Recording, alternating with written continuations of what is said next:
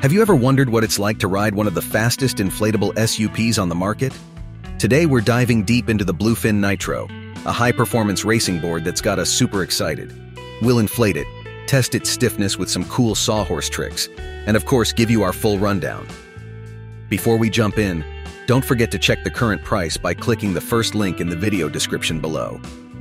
Alright, let's start with a bit about Bluefin. Known for producing top-tier paddleboards, Bluefin is a brand that's all about innovation and quality. Positioned in the upper mid-range market, they focus on delivering advanced features without breaking the bank. The Nitro is their answer for paddlers seeking speed and performance. So let's get into the nitty-gritty. The Bluefin Nitro measures an impressive 427 centimeters in length, 71 centimeters in width, and has a thickness of 15 centimeters.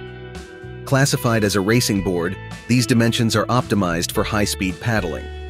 The narrow shape helps reduce drag, making it perfect for sprinting and long-distance racing. Its volume is around 320 to 330 liters, which means it's suitable for paddlers up to 120 to 130 kilograms. If you're into touring or racing, this SUP will slice through water like a hot knife through butter. Advanced paddlers, this one's built for you.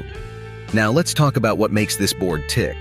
The Nitro uses Bluefin's ESL fusion technology combined with carbon rails, which means impressive stiffness and durability. It's lightweight too, tipping the scales at just 12.4 kilograms. We put it on some sawhorses and stood on it with our full body weight. Zero flex.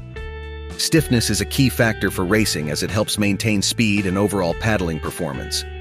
For best results, we recommend this board for paddlers up to 120 kilograms. The Bluefin Nitro comes with a complete accessory package. Included are a three-piece NXT carbon paddle, the Swift Maxi Triple Action Pump, a coiled leash, a convertible SUP backpack slash dry bag, removable US box system racing fin, waterproof phone case, a repair kit. Inflating the board with the Swift Maxi pump only takes about 8 minutes. The quality of these accessories is top-notch. The backpack is super comfy with padded straps and handles, and let's not forget, it's convertible to a dry bag, perfect for stowing wet gear. The carbon paddle is lightweight at just 950 grams, giving you that added efficiency with each stroke. So who is the Bluefin Nitro best suited for? If you're an advanced paddler seeking speed, agility, and performance, this board is your dream come true.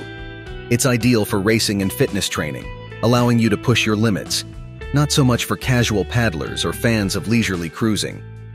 To wrap it up, the Bluefin Nitro is a stellar high-performance racing SUP it's built with quality materials, comes with excellent accessories, and performs exceptionally well on the water. Keen to check it out? Click the link in the video description below for the latest prices and details. Well, that's it for today's paddleboard review.